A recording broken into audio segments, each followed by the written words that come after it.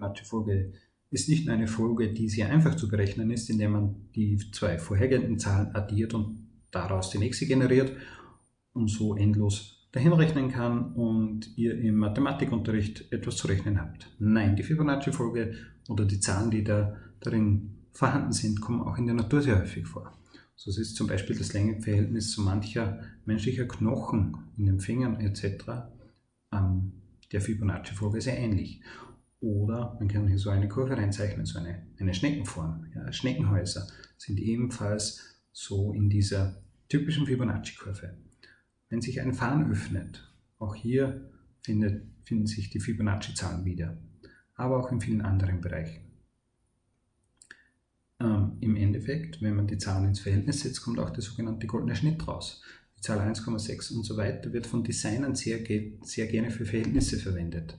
Dieses Verhältnis ist fürs menschliche Auge, da es in der Natur so häufig vorkommt, etwas sehr Angenehmes und Ästhetisches. Daher findet es in der Gestaltung von Logos, Webseiten etc. Ähm, sehr gerne Anwendung. Aber heute geht es um die Implementierung und um die Fibonacci-Folge zu implementieren, und zwar rekursiv und iterativ. Zur Rekursion gibt es ja bereits ein Video, jetzt das Praxisbeispiel in JavaScript. Fibonacci implementiert rekursiv, iterativ und wo sind die Unterschiede? Implementieren wir jetzt diesen Fibonacci einmal rekursiv und einmal iterativ, um einfach auch die Unterschiede und vor allem aber auch Geschwindigkeitsunterschiede kurz zu sehen. Also machen wir eine, oder kurz vorher definiert ist der Fibonacci ja wie folgt. Äh, Definition der Fibonacci von 1 ist gleich 1, der Fibonacci von 2 ist ebenfalls 1 und der Fibonacci von irgendeiner beliebigen Zahl ist gleich der Fibonacci von der vorvorhergehenden Zahl plus der Fibonacci der vorhergehenden Zahl.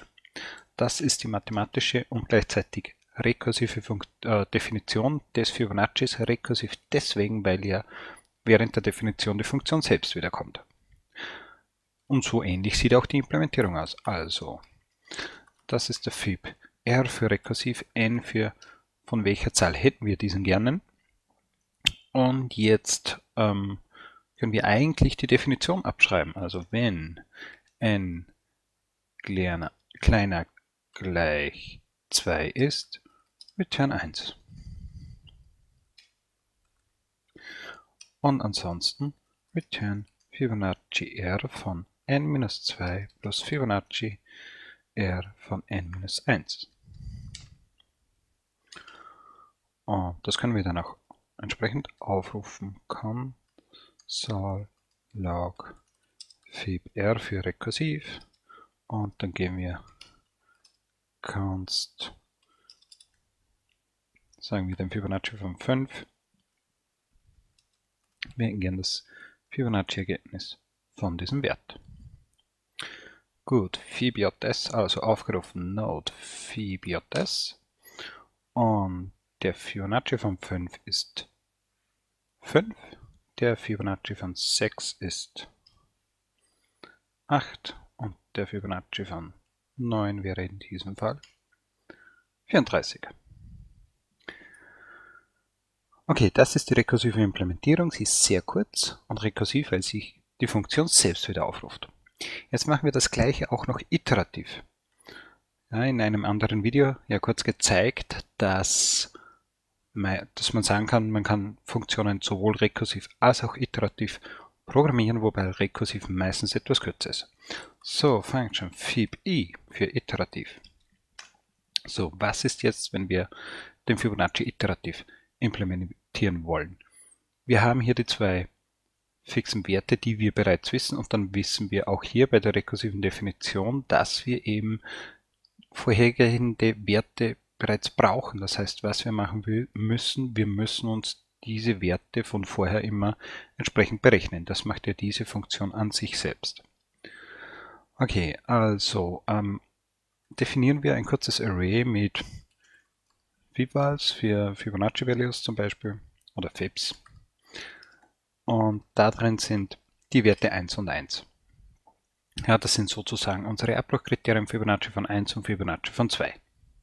So, dann machen wir eine, eine Schleife und wir fangen an bei 3 denn der Fibonacci von 1 und der Fibonacci von 2 ist ja bereits bekannt. Allerdings, da wir hier mit Indizes arbeiten, das ist ja ein Array, müssen wir immer minus 1 rechnen. Also, wir fangen bei 2 an, solange i kleiner n ist, i++. Und in diesen Array Fibs wollen wir jetzt, also das wollen wir jetzt auffüllen mit den entsprechenden Werten. An der Stelle i ist gleich Fibs an der Stelle i minus 2 plus Fibs an der Stelle i minus 1. Das ist jetzt sozusagen ähnlich wie bei der rekursiven Implementierung, nur dass wir hier nicht die Funktion aufrufen, sondern einfach die Werte des Arrays verwenden. Bei der rekursiven Implementierung ist es ja so, jedes Mal, wenn ein rekursiver Abstieg ist, also die Funktion sich selbst aufruft, muss sich ja der Commuter den aktuellen Wert, die Übergabeparameter etc. alles merken, zwischenspeichern, um, wenn er das Ergebnis berechnet hat, wieder entsprechend zurückspringen zu können und dort mit den Werten weiterrechnen zu können. Diesen Stack, den er hier anfüllt und wieder abarbeitet, ist unser Array, das wir in dem Fall selbst verwalten müssen. Und hier wird dieses Array einfach befüllt. Die ersten beiden Werte die ersten beiden Werte sind ja bereits vorhanden, 1 und 1. Deswegen kann ich hier auch i-2 rechnen, denn i fängt bei 2 an, das heißt er startet beim Wert 0 und Wert 1 und alle anderen werden dann ohnehin entsprechend berechnet und reingeschrieben. Das Ergebnis ist nun das letzte der letzte berechnete Wert, das heißt return fibs an der Stelle n-1. Ja, da wir hier mit den Indizes arbeiten n-1. Und jetzt müsste eigentlich, wenn wir hier sagen console.log fib aber iterativ plus fib i mit dem entsprechenden Wert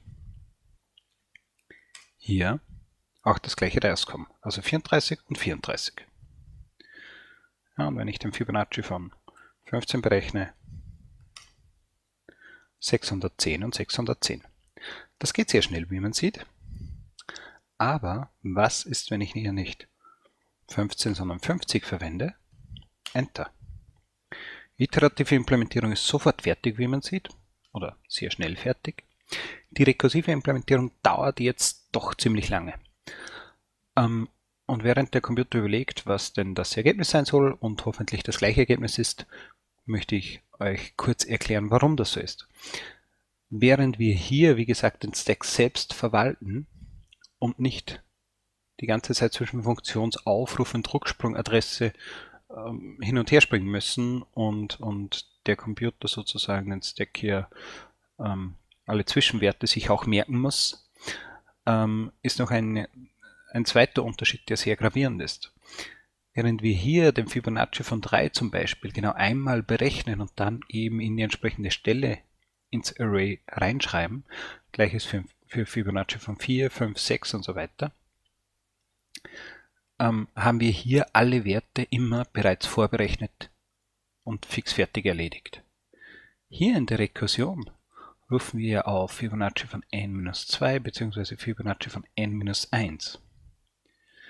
Wenn man sich kurz überlegt, angenommen hier kommt rein 50, sagt er hier, gib mir den Fibonacci von 48 und addiere den Fibonacci von 47.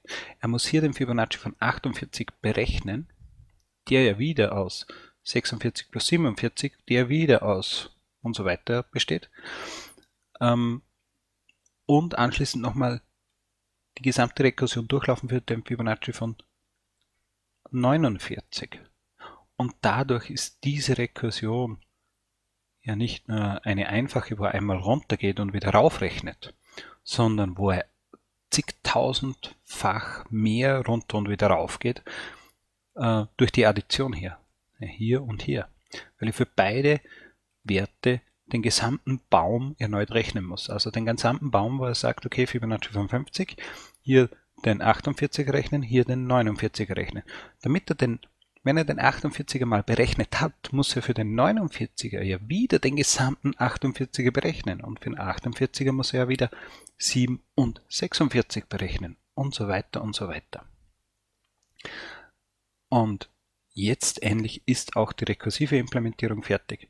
Wie gesagt, so wie es hier implementiert ist, ist die rekursive Implementierung von Fibonacci sehr langsam, während die iterative super schnell vonstatten geht. Und der Grund ist hier natürlich die doppelte Rekursion, die das Ganze echt schwierig macht für den Computer. Aber der große Unterschied ist Rekursion, keine Schleife, dafür kürzer, iterativ eine Schleife, den Status selber merken im Array und ähm, dafür ist es auch schneller. Und wenn es euch gefallen hat, lasst ein Abo da.